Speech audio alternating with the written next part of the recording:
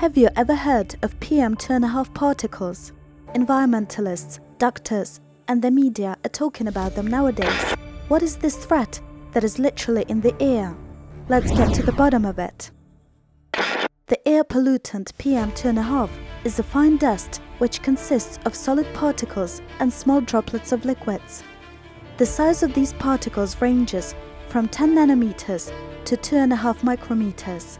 For comparison, the thickness of a human hair is 40 to 120 micrometers.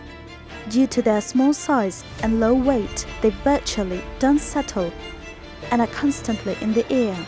They are PM2.5 in the forests and at sea, but in the city, they are much more numerous and their chemical composition is much more dangerous.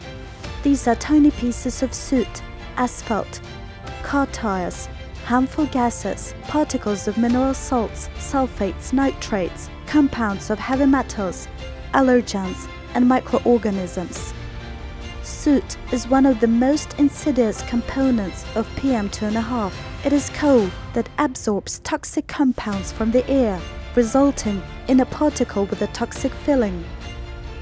An average city dweller inhales 200 billion of these particles per day. They are so small that they pass through the biological barriers in our body, the nasal cavity, the upper airways, the bronchi.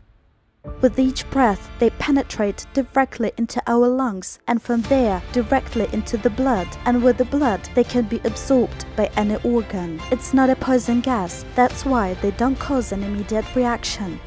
PM2.5 poisoning symptoms appear unnoticed.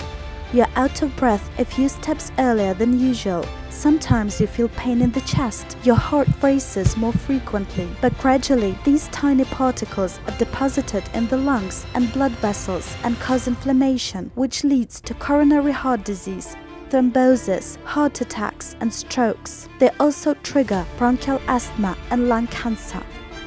The question arises, how can we protect ourselves from this? Should we wear respirators outdoors and install air purification systems at home, which by the way are not cheap at all?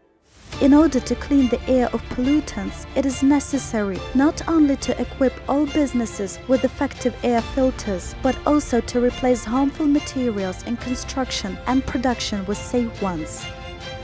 We need to clean the planet of plastic, and chemical pollution. And this is only possible in the creative society.